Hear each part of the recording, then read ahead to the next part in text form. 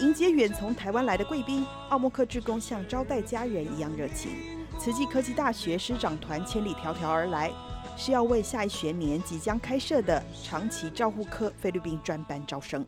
还有这些小孩子，我们看了以后，我们也觉得很欣慰。其实个个都是非常活泼，然后很有朝气。我相信，如果能够进慈济科大，我们相信可以帮他培养成为一个未来很优秀的创造人才。目前在奥莫克大村有一千多户居民，多数家庭经济条件不佳。慈科大这次的海外招生，给了这些家庭脱贫的机会。来入住的村民呢？都是比较弱势的嘛，他们的收入是很低。那如果可以给他们的孩子呢，有机会去台湾去学习，然后有好的收入呢，这是对他们来说是很有意义的事情。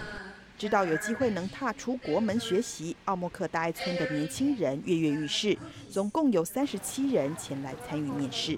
I want to share my love to others and my determination. And as a youth, a person, I will spend my life through Taiwan and to Philippines and to spend love to one another. The three of us will have a better life and a very good quality of education. And then We I expect to learn more from there, to know more of their culture, to to know how to take care of elderly better.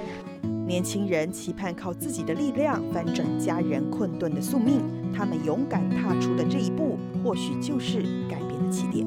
大爱新闻菲律宾报道。